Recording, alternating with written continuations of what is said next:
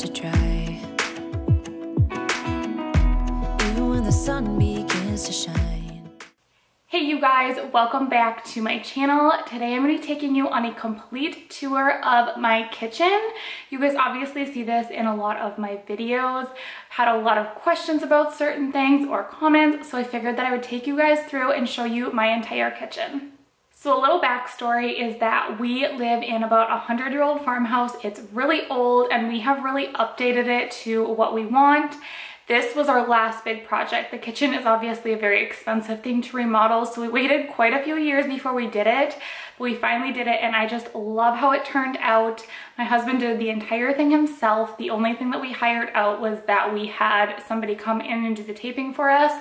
But other than that, Kenny built this whole kitchen himself and we designed it and I just love how it turned out.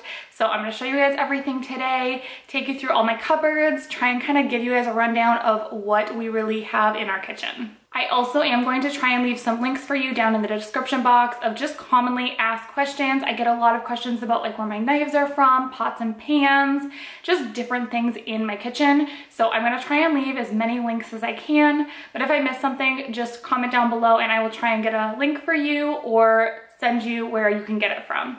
If you're not subscribed to my channel yet, go ahead and do that. I make lots of what's for dinner videos, cooking, motherhood content, sometimes some cleaning in there, just things to make motherhood a little bit easier. Give this video a thumbs up and let's go ahead and get started. So this is what you see when you walk into our front door. This is the first room when you walk into our house. We went with very classic looking cupboards. We just did white. And then our countertops are like a white and grayish with a little bit of like charcoal in there. I really love how that turned out. And then for some contrast against the white, we ended up going with the black stainless appliances and I really love that contrast just so it's not all like super bright white. I did almost do an all white kitchen, but I'm really glad I didn't. I like that we do have a little bit of black in there as well, but that's kind of an overview of our kitchen. One thing I get a lot of questions about is our corner fridge. People say they love that. It is something that we just kind of came up with because we had a really hard time deciding where to put the fridge.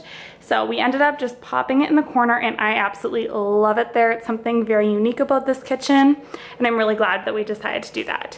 But over here we have a little breakfast bar. There actually used to be a wall here. So this big open area, you can see where we left part of the wall up. But yes, there used to be a wall here and we took it down and we ended up making it a breakfast bar. And these I've actually had some questions on. I will leave them for you. These are Ashley Furniture Store bar stools. I had a really hard time finding ones that I liked, but we just have a big overhang there.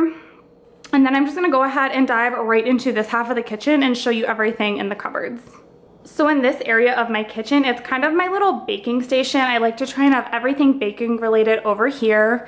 I do have my KitchenAid, so I wanna have everything really close to that since I use that a lot for baking. So this set of drawers here is pretty much all of like my smaller baking supplies, measuring cups, measuring spoons, and then I have my KitchenAid attachments there. Hand mixer beaters. This drawer is pretty much all of like the small baking items, you know, cocoa, salt, chocolate chips, baking soda, baking powder. I have our food coloring. You will see that I have a lot of these white bins in my kitchen throughout. They're really cheap. They're from the Dollar Tree, but they work super well for organizing. I have these small muffin, muffin papers and then the larger ones. But yeah, just pretty much all of my baking stuff in there. And then in this one, more baking stuff. I try and keep kind of like the extras of like brown sugar, flour, that kind of stuff here. I have my hand mixer and then just more extra baking stuff back there. And then in this cupboard over here, I also have more baking stuff. So I have these Rubbermaid containers and I use those to store all of like my flour, sugar, all of that. I've had these for years and I love them. I will try and find a link. I would highly recommend them. They're nice and wide so you can get a measuring cup in top. That's why I don't like using jars. I feel like it's hard to get a measuring cup in, but these work super well. And then in the back here, I have just some extra mixing bowls that I don't use very often, more like extra baking supplies, over here I have baking dishes and then I have a crock pot and my mixing bowl is back there along with a couple extra baking dishes. This is kind of just a miscellaneous drawer. I think every kitchen has one of these. It's just like all the odds and ends. I have like a pineapple core in here, my rolling pin, that's for the Instant Pot, a grater, this is for our griddle. You know, we all just have a random drawer full of like kind of the random kitchen junk. And then this is right next to our stove. I just have all of our utensils and I kind of try and divide them a little bit. These again are all from the Dollar Tree. These work really good for dividers for utensils, so that is what I use. I try and keep this pretty organized, but you know, it's not perfect. It is what it is. I did not like go through and reorganize anything. This is just what our kitchen really looks like on a day-to-day -day basis. And then in these drawers, I also have more pots and pans. I, I, like having these in drawers. I just think it's really easy to grab. This is where I try and keep most of our like most commonly used ones. And then the bottom drawer is the ones that I don't really reach for as frequently. And then I also just have our extra lids here, which I almost never use, but I try and keep a few extras on hand just in case. And then this little cupboard is again just kind of a random cupboard. This is a corner cupboard, so it's hard to really get to stuff in here but I have our little popcorn popper. Best thing ever. If you do not have one of those, highly recommend. I have our griddle. It fits really good in here. And then I have just like paper plates, extra storage containers. I have our fire extinguisher in there, some extra cake pans that I don't use, but that is that little corner cupboard. It's just kind of, it's a hard cupboard to get into, so I try and keep stuff in there that I don't use very often. This corner cupboard here is actually Easton's cupboard. This is where I keep a lot of his craft stuff. So we have Play-Doh, this is like paint in here. Then I have markers, crayons, and colored pencils. And then up on top is all of his coloring stuff up there. And then next to it, I have our food savers. Normally these are in the fridge, but I actually am not using them right now because we have like no fresh fruits and veggies. I need to go to the store. Essential oils, our blender, that's just the Ninja. And then this is kind of our bread, breakfast kind of cupboard. Keep breads here usually. Peanut butter, butter, sugar. That's all of our candy because, you know, my dad keeps bringing Easton more candy. I have my greens here from Teami. And then I have instant coffee because, oh my goodness, I love the whole whipped coffee thing going on right now. Up top, I have hot cocoa. These are tortillas, which we use all the time, but that's kind of our little like breakfast bread cupboard. I don't know what you wanna call it. And then here's our microwave. To the right of that is our seasoning cupboard. I like to have it right next to our stove. I'm not gonna go through all this, but you know, simple. It's our oils and seasonings in there.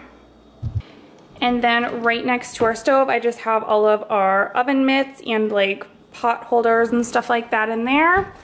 Down here is all of our baking sheets and cutting boards. Anything that's like long and skinny fits really well in this cupboard. And then moving over to this half of the kitchen, this is where we have the dishwasher. So I try and keep the majority of our dishes up here. It just makes it really easy for unpacking the dishwasher. So we have Corelle plates and then we also have like Target cups, Target, some little extra plates up here. So basically just dishes. I can try and link the plates that I used from Corelle. I really like them. This is like a teensy tiny cupboard right here. It's super narrow, but it works really well for medications. So on this bottom shelf, I have all of our vitamins. I have like Brinley's vitamin D drops. I have Kenny's vitamins. These are Easton's. He just does this Smarty Pants toddler. And then I have my prenatals back there. This is Tubby Todd All Over Ointment. Obviously this isn't really a medication, but I do use this almost every day. Highly recommend it. Over in this little container, I have extra syringes. Second shelf is more medication. So up here is our adult medication, pretty much just like Tylenol, ibuprofen, Tums, and then over here is like Tylenol, ibuprofen for the kids. Up top is extras. I do have emergency up there and then these are just backups of Tylenol and ibuprofen just in case we were to run out. Right next to the dishwasher is kind of just a random drawer. I have like my Instant Pot manual in here and then I have some bees wrap that you can use in place of saran wrap. It's just more environmentally friendly. Down here I have my cookbook. This is just like all of my favorite recipes that I've had for years. So a lot of the recipes that you guys see me using are from this. They're just ones that I've found over the years or kind of created on my own. And then my Dutch oven, you guys see this in my what's for dinner videos all the time. Back here is kind of a mess. It's just like I have my iced coffee, uh, vases, thermoses, extra storage containers, things like that. But I have all those in there. And then over here is our sink. It is a huge sink. Oh my goodness, it's like the biggest upgrade from our last sink. It's massive, I love it. We almost went with like the big farmhouse sink where it doesn't have this middle divider, but I'm really glad that we didn't because this thing takes forever to fill up. So I can't even imagine if we had like the really big sink that didn't have the divider in it. So I really, really like this one. And then underneath the sink, I have it organized decently, I guess. I have a ton of cleaning supplies. I have them in bins just to make it a little bit easier, but this is kind of like our everyday cleaning stuff. This is all of our dish soap. Yes, I hoard dish soap.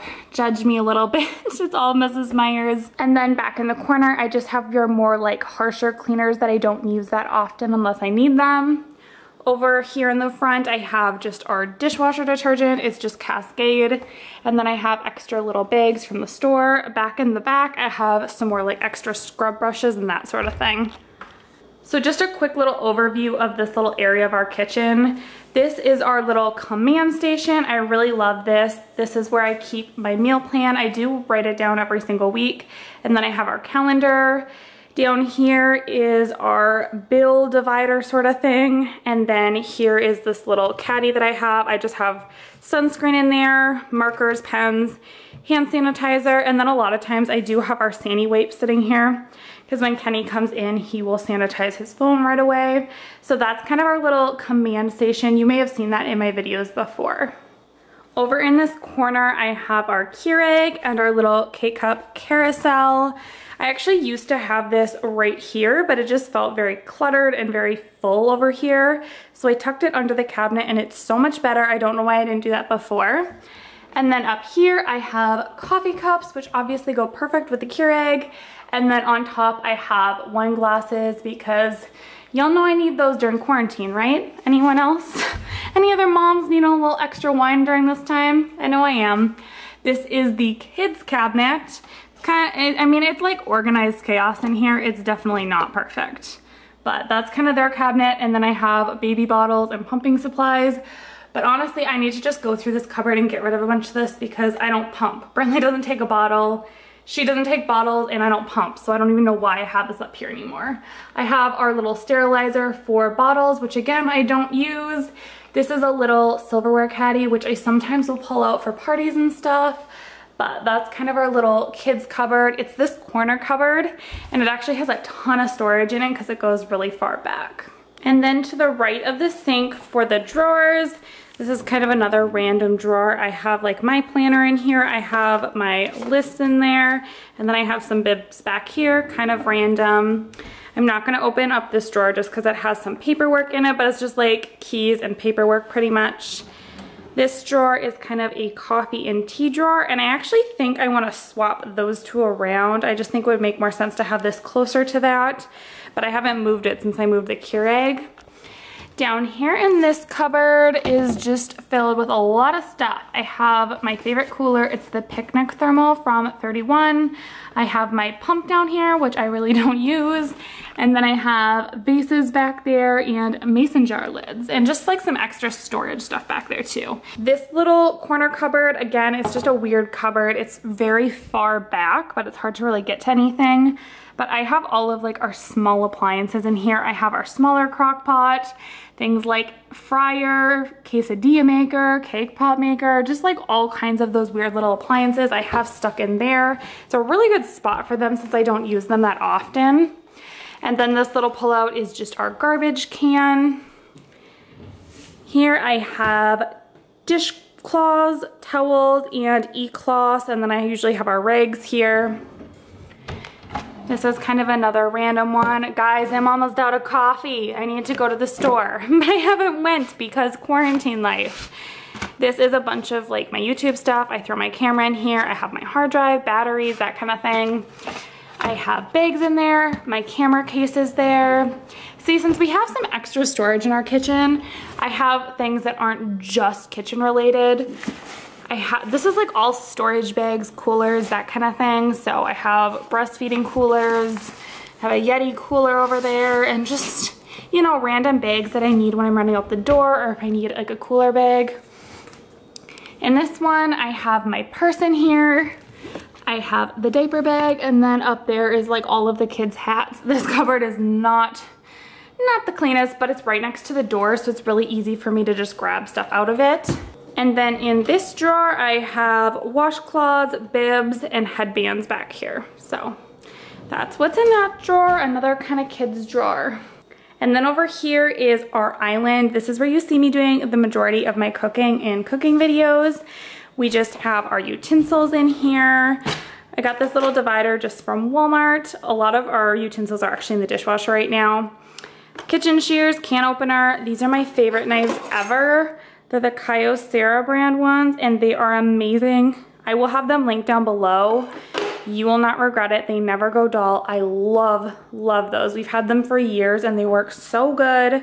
But that's just our utensil drawer. And then down in the actual cupboard part, this is where I keep a lot of my mixing bowls since this is where I do a lot of my cooking. I have like the strainer up there, an extra bowl. These Pyrex bowls I cook in a lot. They just work really good and they clean nice. And then this one is like a measuring cup kind of thing, but it's like a bowl. I don't know what you call it, but I really like it. It's huge. And then it has a lid with it so I can pop it in the fridge if I need to.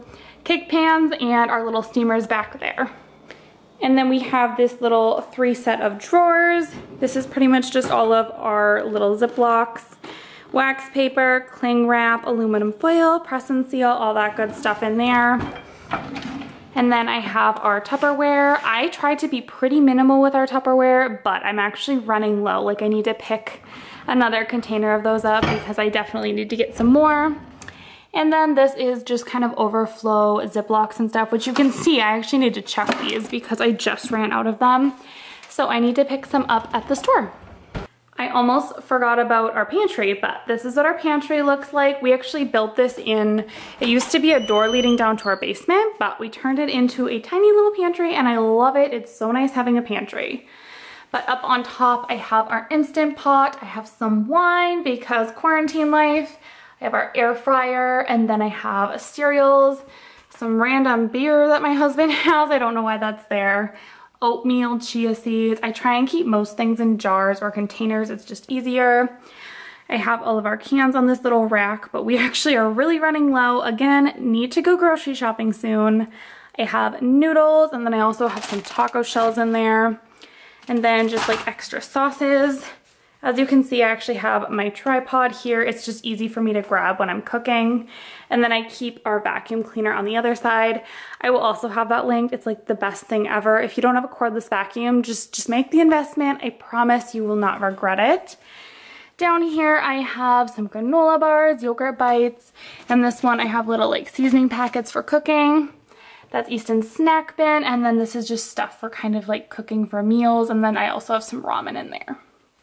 And then down here, I just have some more bins. I have all of our popcorn in here. I have like plain kernels, and then I do have some microwave popcorn back there as well. This is a random bin. I have syrup in here. I have rice in there, ground flaxseed, vinegar, just kind of a lot of random stuff. And then these two bins is where I keep onions, potatoes, and sweet potatoes. Down on the bottom, this is all of my vacuum attachments, and then I also have my mop heads in there. This actually needs to go in our fridge. I don't know why it's here. and then I have our water.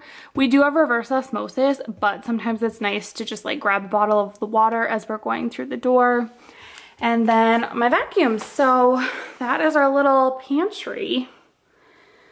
Well, that is it for this kitchen tour. I hope that you enjoyed it. If you did, make sure you go ahead and leave me a big thumbs up. It really helps out my channel. Click subscribe if you have not already. I would love to have you. I do lots of what's for dinners, cooking, cleaning, motherhood, all of that type of content. So make sure you're subscribed. But that is it for today's video. I will see you guys next time. Thanks so much for watching. Bye. As a young girl, we're mine. We played seek for hours, raised our shadows among the pines. So offshore, playful and free without a care.